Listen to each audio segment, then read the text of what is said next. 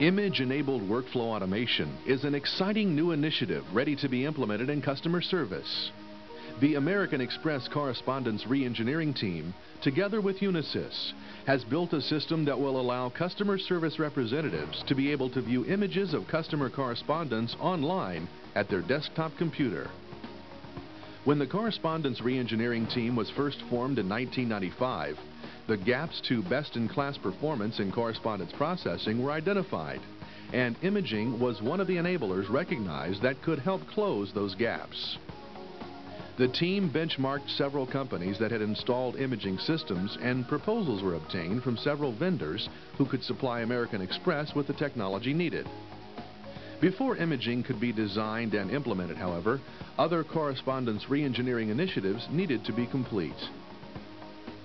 Prior to re-engineering, written inquiries from card members and merchants were sent to any of 10 locations at American Express. Most of this correspondence was then routed to one of five different mailrooms across the country, and often rerouted to the correct service centers for handling.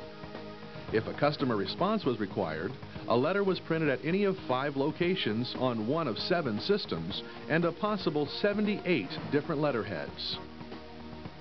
The first step was to consolidate correspondence processing from all U.S. payment service centers and operating centers to American Express Service Center, Fort Lauderdale.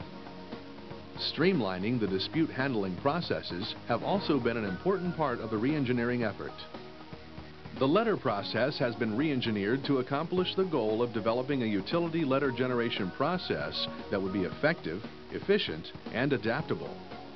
All outgoing mail processing has been consolidated at American Express Service Center, Fort Lauderdale, using one universal letterhead and outer envelope through a single system platform.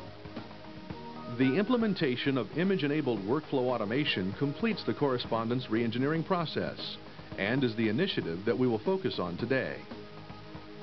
Before introducing image-enabled workflow automation, let's review the process before it was reengineered. With the consolidation of correspondence processing, American Express Service Center Fort Lauderdale receives 8 million paper documents annually, which total over 17 million pages and result in 24 million handoffs. These documents were manually sorted, routed, copied, rerouted, filmed, and filed. If this process was left intact, housing all of the paper would be a tremendous strain on the building's infrastructure. Let's take a look at how the paper was processed. Mail was received at the Fort Lauderdale Service Center several times a day, six days per week. In addition to receiving mail, hundreds of faxes were received every day from card members and merchants. Each document then needed to be analyzed and routed to the correct representative for handling. Some documents were stored temporarily in customer service until an inquiry was resolved. The document was then routed to a media coordinator for copying to include with correspondence back to the customer. Finally, each document was filmed and stored in accordance with compliance guidelines. Here is how we begin to improve our image of the correspondence process. Our process begins when the mail is delivered to American Express Service Center, Fort Lauderdale on a daily basis. After the mail is delivered, it is prepared and batched by source, which is called rough sort. The mail is then opened and sorted based on document class. It is then prepared for scanning by removing all staples and paper clips, and if necessary, repairing torn documents. Documents are separated by single or multiple pages and are grouped into batches of 50 or less. A cover sheet, which contains key information about the batch, is attached as a header sheet. The batches are then delivered to the scan operator. Faxes are sent directly into the imaging system. The batches of mail are then scanned into the imaging system. Two Kodak high-volume scanners are used to scan documents into the imaging system. The scanners convert paper documents into electronic media. The monitors allow the operators to quickly view the images and detect problems. Document class, receipt date, source, and priority are vital pieces of information captured at scanning. Paper documents are stored for seven days in files located near the high-volume scanners. After seven days, the documents are shredded, but the images still exist in short-term storage within the imaging system. After the document has completed the customer service process, the image is moved to long-term storage on optical disc. The long-term storage period varies by product and type of mail and is governed by compliance guidelines. Customer mail is divided into two categories. The first is called GUM, or General Unformatted Mail. GUM mail is any incoming handwritten or typed correspondence from a card member or merchant not on a pre-printed form. In the index area, representatives quickly review each image to determine what action is being requested. After the basic request is determined, the account number is entered and a category code is assigned. Once the image is indexed, behind the scenes the image system obtains information from the mainframe, including product, next billing date, and which system the account resides on. It also posts customer service actions to lift memo cases to indicate receipt of correspondence.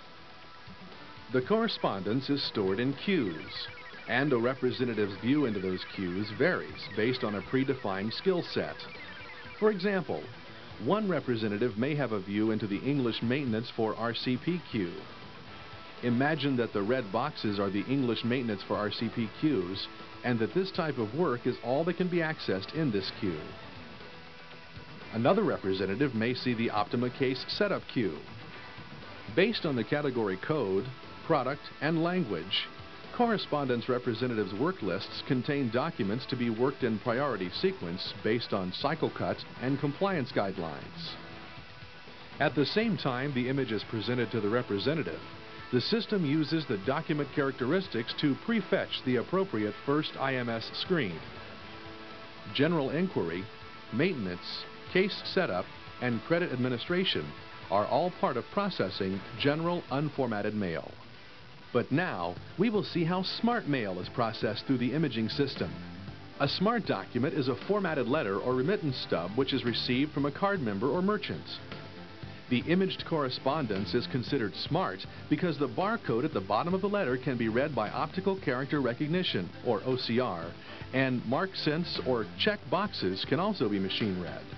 Specific information is auto-filled into the index form and processed by automation or routed to the appropriate representative for handling. Customer service representatives can quickly view imaged documents by accessing an action placed on a case at the time of case setup, or by the OCR function. By performing a few simple tasks, a customer service representative can send a letter with an image attached. When an image is processed with a letter, the two are printed together folded, and mailed directly to the receiving party, eliminating up to five days of processing time for a customer service representative to receive the letter, copy and match the support, and mail. Image-enabled workflow automation will enable correspondence to be processed efficiently and effectively, improving service, reducing cost, and providing management reporting to facilitate continuous process improvement. The imaging system is very flexible and provides a utility platform that will continue to support our ever-changing business at American Express.